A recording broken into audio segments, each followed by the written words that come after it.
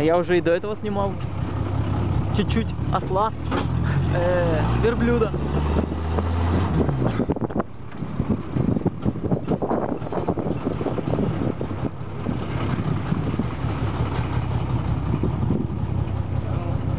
Hello.